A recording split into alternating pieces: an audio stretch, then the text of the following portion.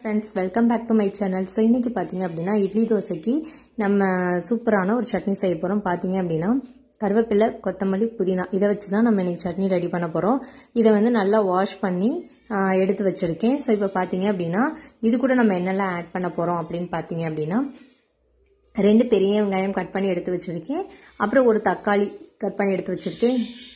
காஞ்ச மிளகாய் வந்து நம்ம காரத்துக்கு ஏற்ற அளவுக்கு நான் எடுத்திருக்கேன். நான் ஒன்று மட்டும் எடுத்திருக்கேன். உங்களுக்கு வந்து ரெண்டு மூணு வேணும்னா நீங்கள் காரத்துக்கு ஏற்ற அளவுக்கு நீங்கள் எடுத்துக்கோங்க. நெக்ஸ்ட் பார்த்தீங்க அப்படின்னா இது கூட நம்ம என்ன ஆட் பண்ண போகிறோம்னு பார்த்தீங்கன்னா உளுந்தம்பருப்பு இது வந்து ரெண்டு டீஸ்பூன் அளவுக்கு எடுத்துக்கலாம். ஸோ இப்போ இதை எப்படி பண்ணுறதுன்னு பார்க்கலாம் வாங்க. ஃபஸ்ட்டு கடாய் வச்சாச்சு.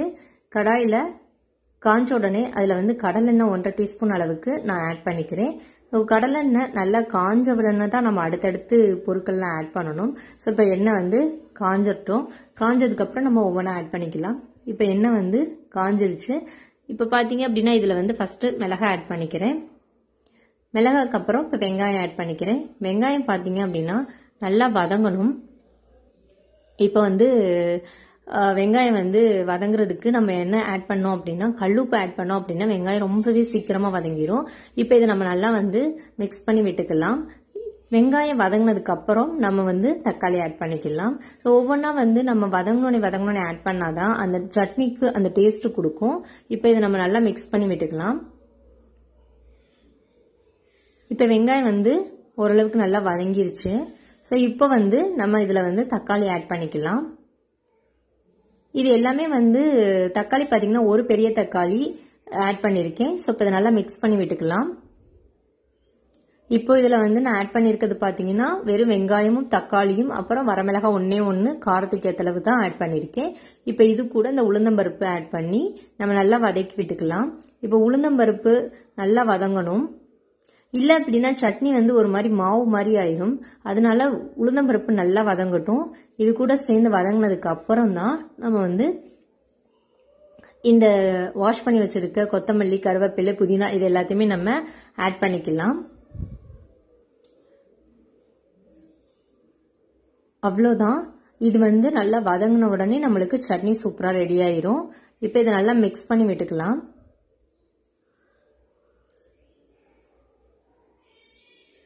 இப்போ இதை நல்லா மிக்ஸ் பண்ணி விட்டதுக்கப்புறம் நம்ம வந்து ஒரு அஞ்சு நிமிஷம் வரைக்கும் நம்ம நாம ஆற வச்சு நம்ம எடுத்து தான் நம்ம மிக்ஸ்சரில் போட்டு சட்னி அரைக்கணும்.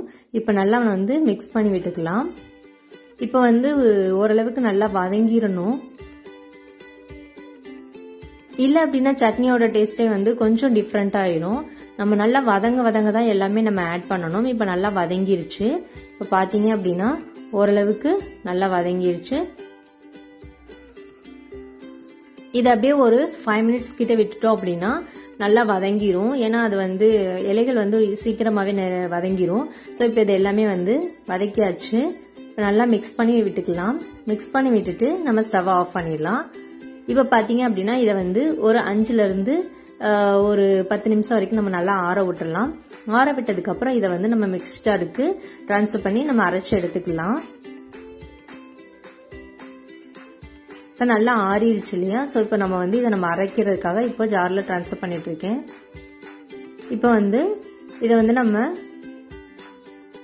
எல்லாமே வந்து போட்டாச்சு. இப்போ இதை நம்ம வந்து அரைச்சி எடுத்துக்கலாம்.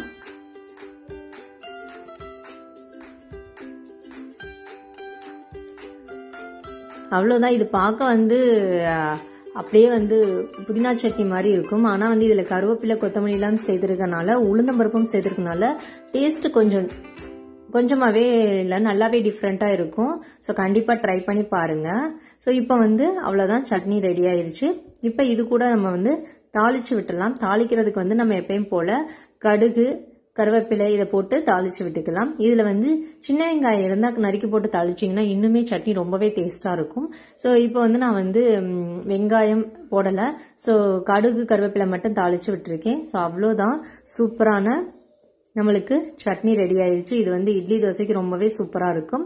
கண்டிப்பாக ட்ரை பண்ணி பாருங்கள் இந்த வீடியோ உங்களுக்கு பிடிச்சிருக்கு அப்படின்னா மறக்காமல் நம்ம சேனலுக்கு ஒரு லைக் கொடுங்க. நம்ம சேனலை இதுவரை நீங்கள் சப்ஸ்கிரைப் பண்ணலைன்னா மறக்காமல் சப்ஸ்கிரைப் பண்ணிவிட்டு பக்கத்தில் இருக்க அந்த பெல் பட்டனை கிளிக் பண்ணிக்கோங்க. அப்போ தான் நான் போகிற எல்லா வீடியோவும் உங்களுக்கு உடனுக்குடன் வரும். ஓகே ஃப்ரெண்ட்ஸ் இந்த மாதிரி நீங்களும் ட்ரை பண்ணி பாருங்கள் பாய் தேங்க்யூ தேங்க்ஸ் ஃபார் வாட்சிங்